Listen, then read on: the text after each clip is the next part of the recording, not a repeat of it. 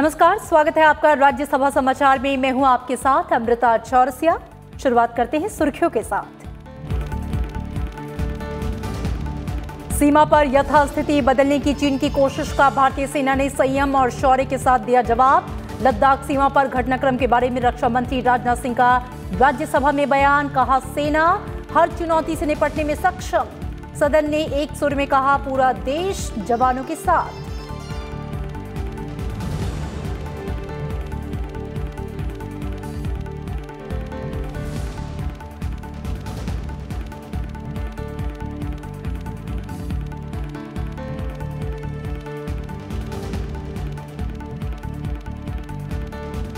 देश में कोरोना संक्रमित लोगों में से मृत्यु दर को एक फ़ीसदी से कम रखने का प्रयास, राज्यसभा में केंद्रीय स्वास्थ्य मंत्री डॉक्टर हर्षवर्धन ने कोविड महामारी और उसे लेकर सरकार का पक्ष किया साफ़।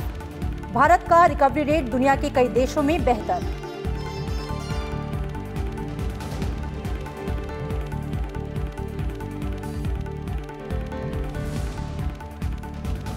कोरोना के मद्देनजर सदन की कार्यवाही के दौरान हर समय मास्क पहनने समेत सभी एहतियाती उपायों का पालन करें सांसद। सभापति एम वेंकैया नायडू ने सदस्यों को सदन में बैठकर अपनी बात कहने और आवंटित समय सीमा का पालन करने के भी दिए निर्देश।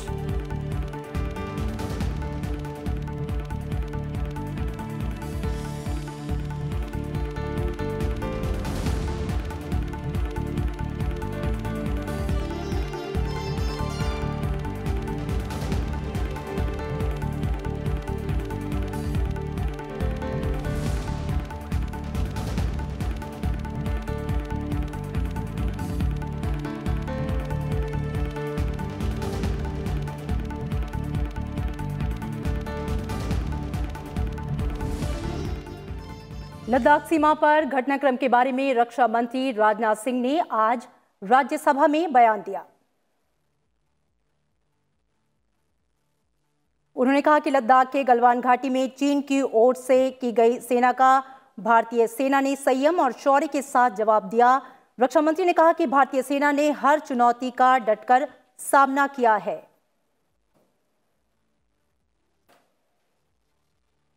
देश हित में हमें कितना ही बड़ा और कितना ही कड़ा कदम उठाना पड़े सभापति महोदय, हम पीछे नहीं हटेंगे। मैंने स्पष्ट तरीके से हमारी चिंताओं को चीनी पक्ष के सामने रखा है, जो उनकी बड़ी संख्या में ट्रूप्स की तैनाती, आक्रामक रवैया और एक तरफा स्टेटस को बदलने की कोशिश से संबंधित था। इन सब सारे मुद्दों को अपने काउंटर पार्ट के सामने हमने रखा है। और मैंने दो टूक शब्दों में यह स्पष्ट किया कि हम इस मुद्दे को शांतिपूर्ण ढंग से हल करना चाहते हैं और हम चाहते हैं कि चीनी पक्ष हमारे साथ मिलकर काम करे। वहीं हमने यह भी स्पष्ट कर दिया कि हम भारत की एकता, संप्रभुता और अखंडता की रक्षा के लिए पूरी तरह से प्रतिबद्ध हैं। यह भी हमने पूरी तरह से स्पष्ट कर दिया। हमने चाइनीज़ साइड के साथ डिप्लोमेटिक और मिलिट्री इंगेजमेंट बनाए रखा है। इन डिस्कशंस में तीन की प्रिंसिपल्स हमारी अप्रोच को सभापति महोदय तय करते हैं। पहला, दोनों पक्ष को एसी का सम्मान और कड़ाई से पालन करना चाहिए। फ़र्स्ट सेकंड किसी भी पक्ष को अपनी तरफ़ से यथास्थिति का यानी स्टेटस को का उल्लंघन करने का प्रयास नहीं करना चाहिए। थर्ड दोनों पक्षों के बीच सभी समझौतों और अंडरस्टैंडिंग अंडरस्टैंडिंग्स का पूर्णतया पालन करना चाहिए। चाइनीज़ साइड की यह पोजीशन है कि स्थिति को एक जिम्मेदार ढंग से हैंडल किया जाना चाहिए और द्विपक्षीय समझौतों एवं प्रोटोकॉल के अनुसार शांति एवं स्थिरता सुनिश्चित किया जाना चाहिए।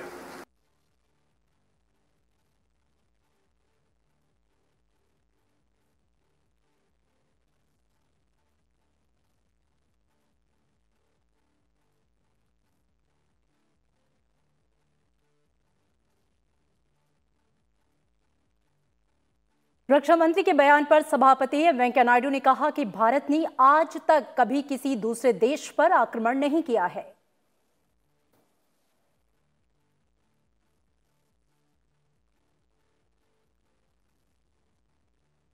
मैं सभापति के नाते एक व्याख्या करना चाहता हूँ देशवासियों के लिए और पूरा विश्व के लिए। भी भारत का परंपरा, भारतीय संस्कृति हमेशा वसुदैक कुटुंबकम।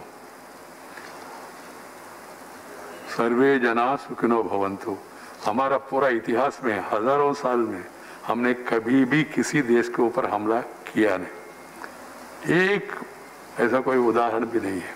ये हमारा परंपरा है। इसी परंपरा को हम आगे रख रहे हैं। और हमारे साथ संसदीय मामलों के संपादक अरविंद कुमार सिंह जुड़ रहे हैं। उनका सीधा रुख करेंगे। अरविंद जी, आज राज्यसभा में रक्षा मंत्री राजनाथ सिंह ने जिस तरीके से भारतीय सेना के शौर्य और संयम की बात कही, उन्होंने सीमा पर यथास्थिति बदलने की चीन की कोशिश का भारतीय सेना ने जवाब दिया है। इसको लेकर तमाम बयान दिया है। इसके अलावा और भी विधायी कामकाज की बात करें तो कैसा रहा आज का दिन अमृता, आज कोई विधायी कामकाज तो उच्च सदन में नहीं हुआ, लेकिन सभापति जी का शुरू से ही फोकस रहा है कि जो महत्वपूर्ण और ज्वलंत मुद्दे हैं, जिन पर सांसद बात रखना चाहते हैं उन पर खुलकर चर्चा होनी चाहिए। इसीलिए लद्दाख का मुद्दा अगर आप लें, और उसके अलावा जो है, जो कोरोना संकट को लेकर के जो एक बहुत ही विस्तृत और व्यापक जो है, चर्चा हुई है, कल से ही चली आ रही थी तो उन दोनों को एक तरह से अंजाम तक पहुँचाया गया और बड़े ही महत्वपूर्ण सुझाव आए। और सभापति जी ने भी जैसे सांसदों को कहा कि सभी मास्क पहने और जो भी अधिकतम कोशिश करें कि कोई संक्रमण किसी तरीके से न फैले और उनके निर्देश पर इतने सारे सुरक्षा के इंतज़ाम किए गए हैं, आप समझ लें कि वो सारी चीज़ें बाकायदा इस परिसर में नज़र आ रही हैं। और जो दूसरी आपने जो महत्वपूर्ण बात कही, जो लद्दाख का मुद्दा है, वो उसको हर भारतीय जानना चाहता है। रक्षा मंत्री जी ने खुलकर बातें रखी और नेता विपक्ष गुलाम नबी आज़ाद जी या पूर्व रक्षा मंत्री ए के एंटोनी की बात करें, आनंद शर्मा से लेकर के जो तिरची शिवाजी तक और तमाम दलों के जो नेता रहे हैं, उन्होंने इस बात को जो सरकार की ओर से उठाए जा रहे जो कदम हैं, जो और चीज़ें हैं, अपनी तरफ़ से कुछ बातें रही, रखी और रक्षा मंत्री ने उसका स्पष्टीकरण भी दिया। तो रक्षा मंत्री का ये बयान बहुत ही तथ्यात्मक है और साथ ही साथ ये भी बताता है कि किस तरीके की तैयारियाँ की जा रही हैं। तो अमृता कुल मिलाकर के ये बहुत ही महत्वपूर्ण है और सभापति जी की ओर से जो बात कही गई है वो और भी महत्वपूर्ण है। उन्होंने सरकार को कहा है कि जो विपक्ष के प्रमुख लोग हैं। अमृता जो सभापति जी ने जो कहा है वो बहुत ही महत्वपूर्ण है कि सरकार विपक्ष के लोगों को भरोसे में ले उनकी एक मीटिंग करे।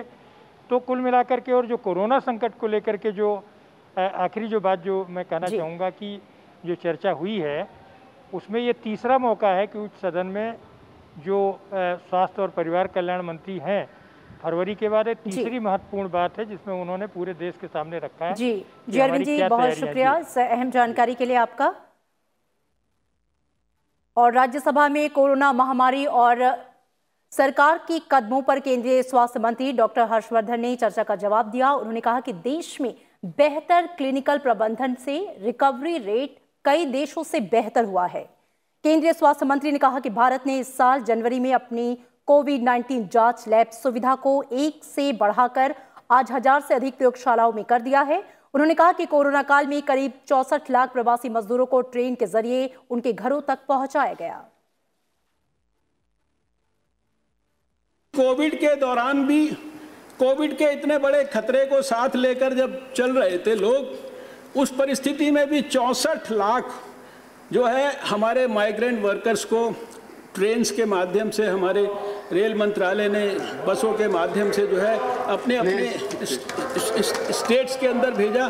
प्लीज़ आज कल यहाँ पर बात की थी आनंद शर्मा जी ने सिर्फ़ उनको मैं बताना चाहता हूँ उन्होंने बीसीजी के बारे में क्योंकि कुछ लोगों का इन चीज़ों के बारे में भी बहुत इंटरेस्ट रहता है। तो इसके बारे में मुझे इतना ही कहना है कि पीसीजी के संदर्भ में छः clinical trial clinical trial registry of India में रजिस्टर हुए हैं और आईसीएमआर छः साइट्स के ऊपर इन ट्रायल्स को जो है कर रहा है। और इससे पहले केंद्रीय स्वास्थ्य मंत्री डॉक्टर हर्षवर्धन के बयान पर उच्च सदन में सदस्यों ने अपनी बात रखी। एनसीपी के प्रफुल्ल पटेल ने कहा कि कोविड 19 के खिलाफ मिलजुल कर लड़ना सबकी सामूहिक ज़िम्मेदारी है।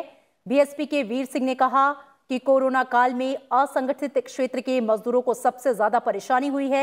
वहीं बीजेपी के डॉक्टर सुधांशु त्रिवेदी ने कहा कि प्रधानमंत्री नरेंद्र मोदी ने कोरोना के शुरुआती दौर में ही सभी के साथ समन्वय से बात की और उनके द्वारा उठाए गए कदमों की सबने सराहना की। आज बहुत सारी समस्याएँ साहब। आज रेमडेसिविर जैसी दवाई, आज ऑक्सीजन के सिलेंडर। कल मैं बयान पढ़ रहा था कि ऑक्सीजन की सिलेंडरों की कोई कमी नहीं है।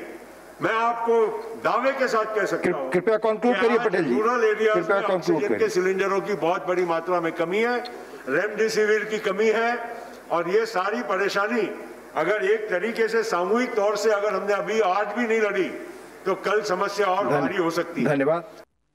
सार्क देशों के राष्ट्राध्यक्षों के साथ भी उन्होंने वार्ता की जी ट्वेंटी के राष्ट्राध्यक्षों के साथ भी वार्ता की और हम सबको वह दृश्य भी ध्यान होगा जब प्रधानमंत्री जी ने एक सामान्य नर्स से बात की थी तो उस नर्स का मनोभाव आप उस चित्र में देखते तो वह देखते बन रहा था, जो कहीं ना कहीं इस बात का प्रमाण था कि बड़े बड़े राष्ट्राध्यक्षों से लेके और एक सामान्य स्वास्थ्य कर्मी तक प्रधानमंत्री समान रूप से समन्वय की बात कर रहे थे। सर साबन, खास करके लाइफ बॉय, उसके जो प्रोडक्शन है कई हज़ार गुना बढ़ गई है। कई हज़ार गुना, क्योंकि सब इस्तेमाल करते हैं। दिन में दो दफ़ा बजाय बीस दफ़ा हाथ धोते हैं। और इसी तरह से सैनिटाइजर की भी कई हज़ार गुना प्रोडक्शन बनी। है तो प्रोडक्शन बनने का मतलब है, उनका मुनाफा भी बहुत हो गया है। तो मेरी रिक्वेस्ट है गवर्नमेंट से कि साबन की कीमत पर्टिकुलरली लाइफ बॉय जो गरीब आदमी की साबन है, उसकी कीमत आधी करनी चाहिए। और सैनिटाइजर की कीमत भी आधी करनी चाहिए. ताकि हर आदमी को पहुँच सके और ऑक्सीजन उपलब्ध होना चाहिए। और इसी के साथ राज्यसभा समाचार में इतना ही। दीजिए इजाज़त। आप देखते रहिए राज्यसभा टीवी। नमस्कार।